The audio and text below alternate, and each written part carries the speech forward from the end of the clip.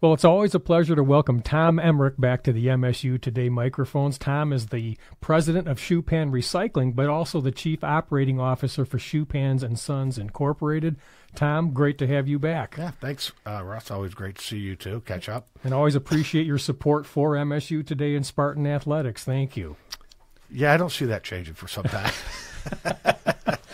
Well, let's before we talk about really the main issue you came in, which is a little bit of a disturbing drop in, in bottles being returned. Who and what is Schupan? What's the mission and some of the history? The history keeps getting longer because I guess as time goes on, so does so does your history. But Schupan and Sons is a, a Kalamazoo-based Michigan company. We're primarily uh, started out in the uh, ferrous scrap, not excuse me, the non-ferrous scrap, which is basically aluminum. we're very strong in that space. So uh, we started out in uh, in the non-ferrous scrap business. We do handle ferrous metals. We've evolved into an aluminum and plastics manufacturing and distribution operation. We have a um, Schupan Recycling, which you reference, is our beverage container recycling arm of the business, which handles a lot of the state's deposit containers. And then uh, most recently, we started a, a trading division uh, where we're now buying and selling mostly uh, non ferrous scrap all over the world. I think we did business in over 25 countries last year.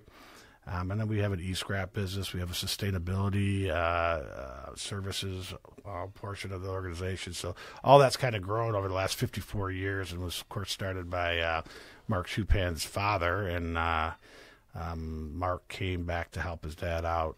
We've We've talked about yes. this. Your listeners probably don't care that much, but it's kind of kind of the fiber of who we are. And he also we went from I think it was six or seven employees. We now have uh, 650, almost 700 employees, depending on the time of year.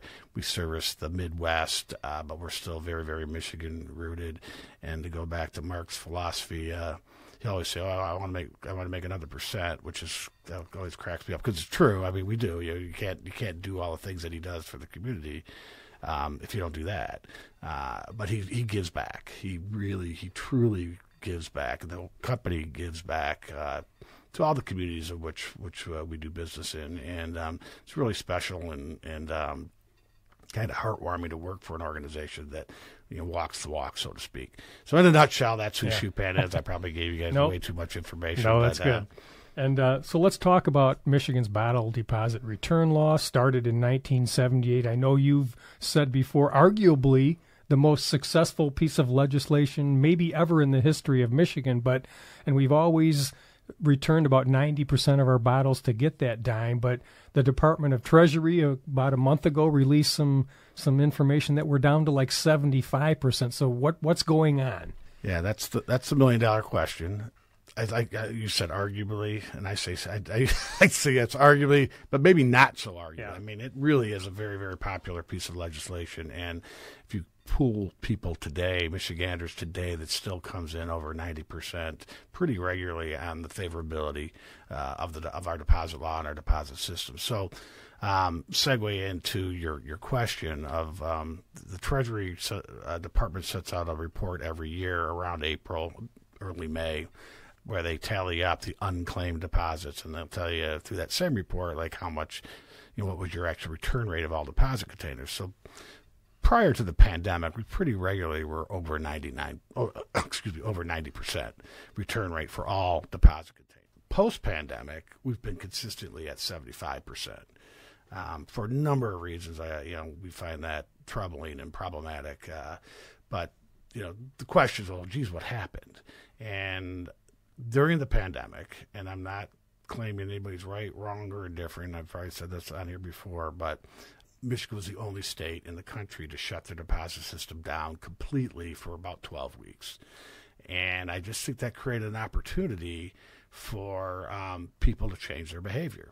You know, a lot of folks stockpiled them, a lot of charities collected a lot of lot of containers, and when the system was opened back up, those that's like kind of sat on the most of the container, the, the greatest amount of containers had the most problematic time bringing them back. Retailers were very strict about enforcing a twenty-five dollar limit, which I understand that completely, um, and that law was always that was always part of the state law. So it just the end of the day, you we always get into my four E's of we will, yes. recycling, but but convenience, ease, and convenience is so important to any recycling effort, and and if that gets disrupted, it makes it easier for folks to, to change their mind and change their behavior. So you know, we just came out of Memorial Weekend. We're heading into the summer. These are the hottest uh, months of the year. This is where the most deposit containers are consumed. It's a great time for Michiganders, a great time in the state. People are vacationing and traveling, etc.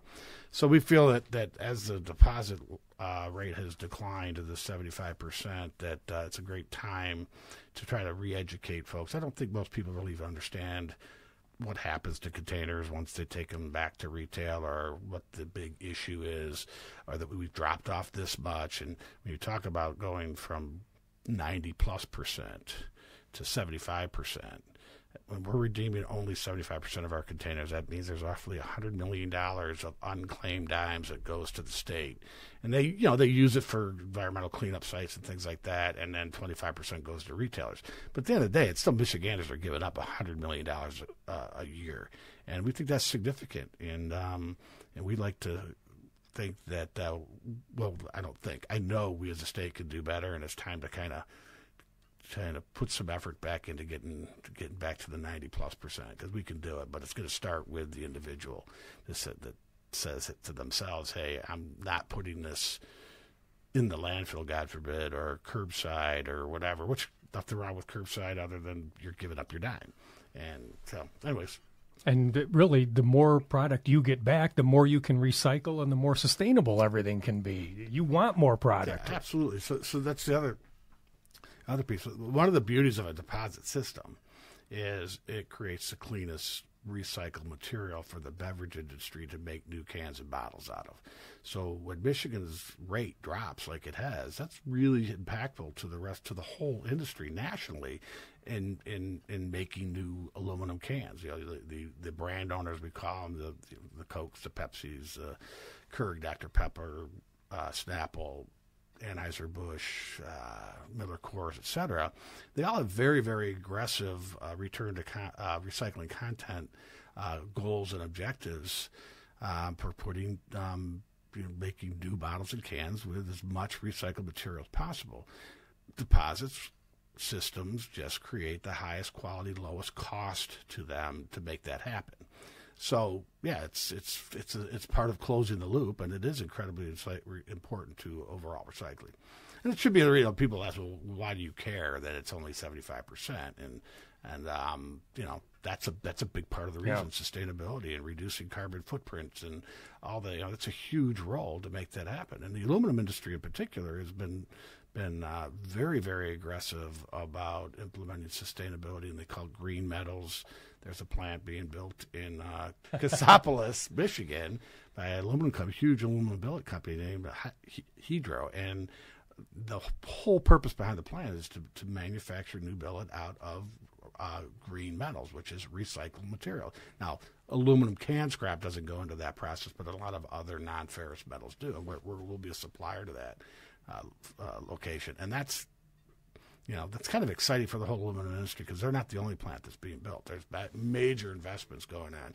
Um, there were last year three new aluminum can sheet manufacturing plants announced to be built in the United States, which is the first time in like over I don't know, 40 years or something like that. I think only two of them are going to happen, but and we don't need to get into all the details there. But it shows the industry is really, really um, um, aggressively pursuing uh, lower carbon output material.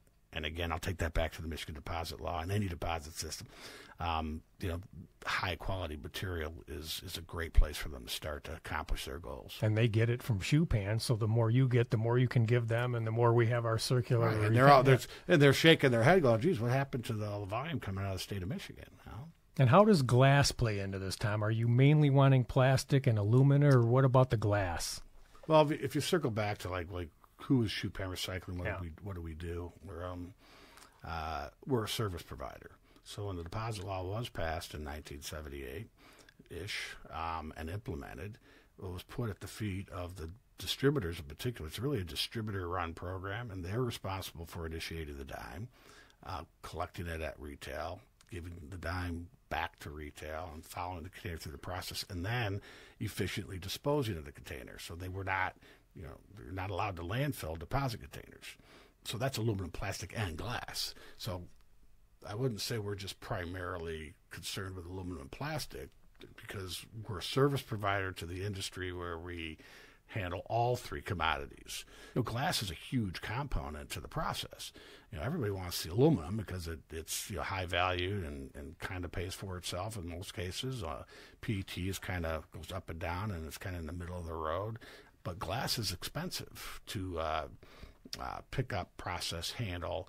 You know, when you put glass at, at, uh, at, at in a within a curbside program, again, we've gotten way better at curbside over the years. Uh, I, I, respect what they've done tremendously, but glass breaks.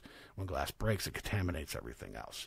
So that becomes a little problematic for the MRF. You just you know, ask anybody that runs a a single stream recycling operation, it's glass is very expensive for them. So deposits pull that out of the system. So sometimes you got to take the good, the bad with the good, right? That's that's how I look at at uh, deposits. And Tom, you mentioned improvement in recycling. How is Michigan doing? For a while, Michigan wasn't as good at curbside as some of its Midwest neighbors, and we had talked about some bills that were moving through the state because really, in, in some ways, you can't blame the municipalities if it's cheaper to throw the stuff into a landfill than recycle it, right? So, are we getting better at curbside? A study came out, I think, about a year ago that showed that we had a 19% increase in our overall municipal recycling rate. So that says, suggests yes. And, and I know we are because we've had more programs pop up over uh, since um, really the, was the, the state that used to be DEQ now it's EGLE put a very strong effort uh, behind trying to help communities with more sustainable curbside programs and single stream recycling, et cetera. So, so they've had an impact, and that's really, really positive.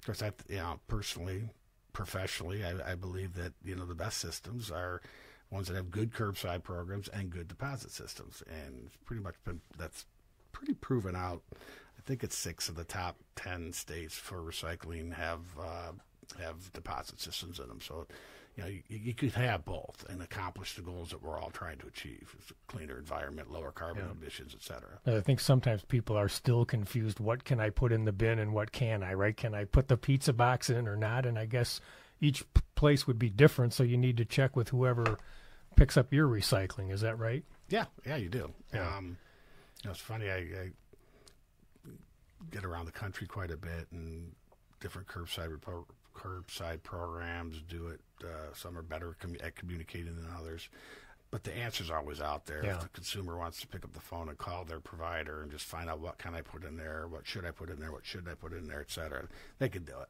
But again, they, uh, still from a recycling standpoint, it's it's about ease and convenience, and and when uh, when you don't have that, it's a it's a big strike against any recycling effort. Good time for me to ask you to always share your four E's of a successful recycling program. Let's see if I can remember them. I made them up like 25 years ago.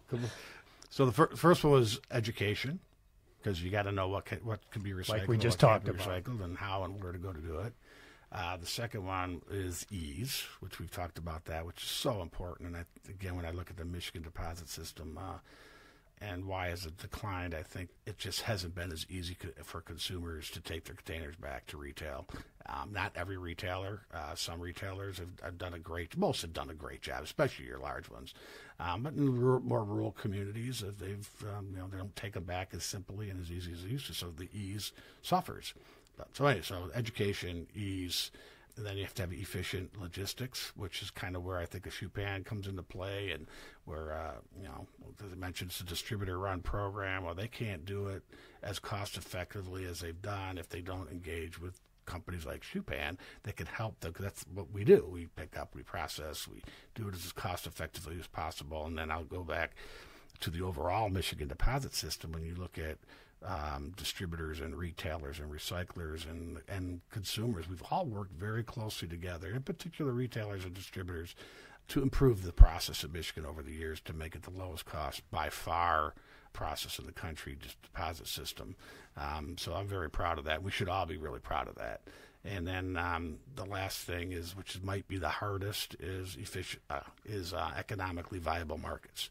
Um, if you don't have some place to sell your material that you've collected, your program is not going to make it. It just won't. So I've always said you, you kind of need all four of those if you're going to truly have a successful, um, sustainable recycling program. So, Tom, again, we are a little bit disappointed in the return rate for our uh, bottles and cans. Make your pitch for people to take them back. Well, yeah, we kind of like that. Uh, I'll call it a slogan, take them back. We want that to be synonymous with somebody in Michigan sees that, yeah, as a reminder to take your containers back to your nearest local retail store because it's just the right thing to do. I like this phrase too. It's your lakes, it's your roads, it's your beaches, and it's your dime. So take them back. It's the right thing for you, it's the right thing for the state, and it's the right thing for the environment. So, in a nutshell, that's that's really what we're saying. We could get back to being the number one uh, return state, deposit, beverage container recycling state. Uh, it won't take a lot of effort, but uh, we got to do the right thing. And, and again, it starts with the consumer.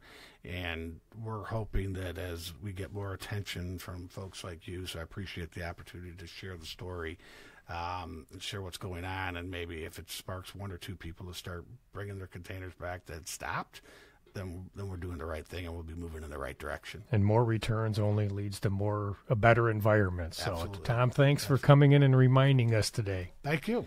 Anytime. That's, that's Tom Emmerich, Chief Operating Officer of Schupan and President of Schupan Recycling. Much more at schupan.com, S C H U P A N.com, schupan.com.